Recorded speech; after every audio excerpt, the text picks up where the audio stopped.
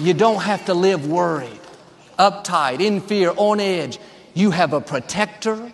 You have a defender. The Most High God is standing guard over your life.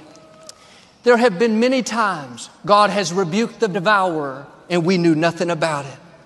He kept you from that sickness. He protected you from that accident. He kept that tree from falling on your house, causing you so much in repairs. He kept that supervisor from holding you back. It's good to thank God for the blessing, the promotion, the favor, but sometimes you need to thank God for what didn't happen. Thank Him that you didn't get sick. Thank Him that you didn't get laid off. Thank Him that your child didn't get in trouble. That was God behind the scenes rebuking the devourer for your sake. Genesis chapter 1, the earth was dark and without form. God said, Let there be light, and light came. He called the light day and the darkness night. This was on the first day of creation. What's interesting is God didn't create the sun or the moon until the fourth day. Yet He had light from day one.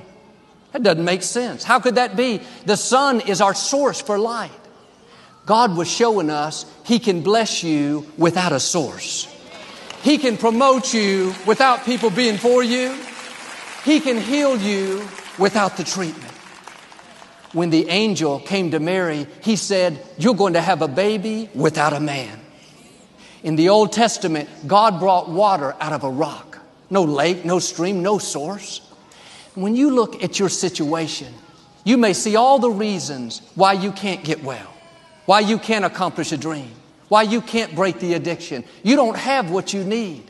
But God is not limited by what you don't have.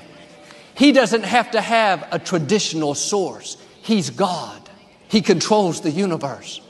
When He needs light, He doesn't wait for the sun. He speaks and He has light without the sun. What God has destined for you, He can do without a bank, without the treatment, without the experience, without the support. He may not do it a traditional way. I know a man that had 90% of his vocal cords removed.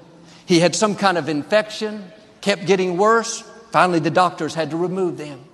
He was told he would never speak again. He might be able to make some sounds, but never speak. But he talked to me like we're talking now. I couldn't tell anything was wrong. The doctor said he was a medical marvel, an anomaly. They couldn't explain it. But when God wants you to speak, He doesn't check with your vocal cords.